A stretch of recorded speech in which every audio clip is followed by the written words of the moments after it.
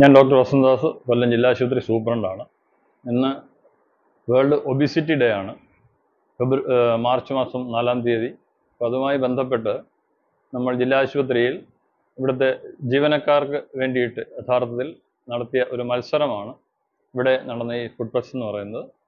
അവിടെ നമുക്ക് ആരോഗ്യകരമായ ഭക്ഷണശീലം എങ്ങനെ വളർത്താം എന്നുള്ളതിനെക്കുറിച്ചുള്ള ഒരു അവബോധം പൊതുജനങ്ങളിലേക്ക് കൂടി ഉണ്ടാക്കുക എന്നുള്ളതാണ് നമ്മൾ ലക്ഷ്യം വെച്ചത്.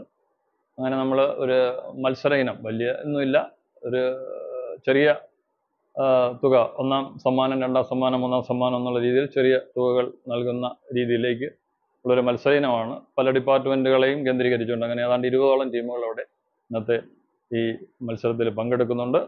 ഇതുമായി ബന്ധപ്പെട്ടതിന്റെ മാർക്കഡിയിൽ വന്നിരിക്കുന്നത് നമ്മുടെ ബീച്ച് ഓർക്കിഡ് ഹോസ്റ്റലിലെ ഷെഫാണ്. ഡോക്ടർ സലീല മാഡത്തിന്റെ സഹായം അക്കാര്യത്തിൽ ഉണ്ടായിട്ടുണ്ട്.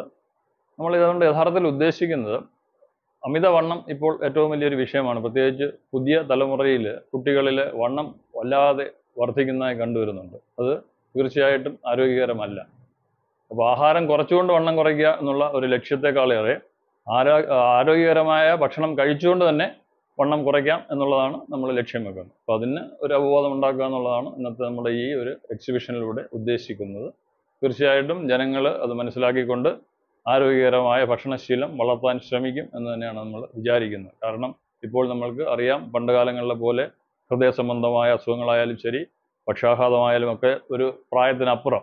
പണ്ടൊക്കെ നമ്മൾ കരുതിയിരുന്ന ഒരു അറുപത് വയസ്സിന് മുമ്പൊന്നും ഇത് വരില്ല എന്നുള്ള ഒരു രീതിയാണ് നമ്മൾ പഠിച്ചിരുന്നത്. എന്നാൽ ഇന്നതല്ല. ഇരുപത് വയസ്സും ഇരുപത്തഞ്ച് വയസ്സും ഒക്കെ ഉള്ള കുട്ടികളിൽ ഹൃദയാഘാതവും പക്ഷാഘാതവും ഒക്കെ വരുന്ന ഒരു സാഹചര്യം കാണുന്നുണ്ട്. തീർച്ചയായിട്ടും അത് നമ്മളുടെ ആരോഗ്യകരമായ ഭക്ഷണശീലം വളർത്തിയെടുക്കാത്തതിന്റെ ഒരു കുറവ് കൂടി കൊണ്ടാണ്. അപ്പോൾ തീർച്ചയായിട്ടും ഈ ഒരു ഫെസ്റ്റ് പൊതുജനങ്ങളിൽ നല്ല രീതിയിലുള്ള ഭക്ഷണക്രമം ഉണ്ടാക്കിയെടുക്കുന്നതിന് സഹായകരമാകുമെന്ന് തന്നെയാണ് പ്രതീക്ഷിക്കുന്നത്.